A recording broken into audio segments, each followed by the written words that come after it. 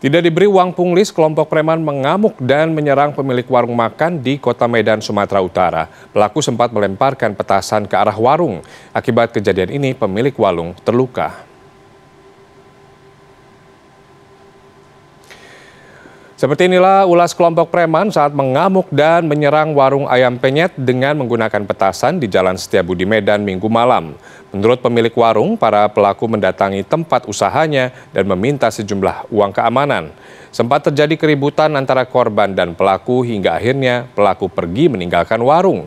Namun tak berselang lama, kedua pelaku kembali mendatangi warung korban sambil melemparkan petasan ke arah warung. Sejumlah pengunjung yang sedang makan di warung panik dan berhamburan.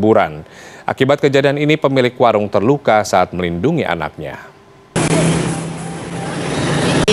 Dia pungli nggak dikasih dia nggak terima. Dia nggak terima ya nggak senang lah itu merasa hebat mungkin ya kan itu udah sering dah bang melakukan pungli di sini bang? Iya sering dia memang meresahkan warga sini memang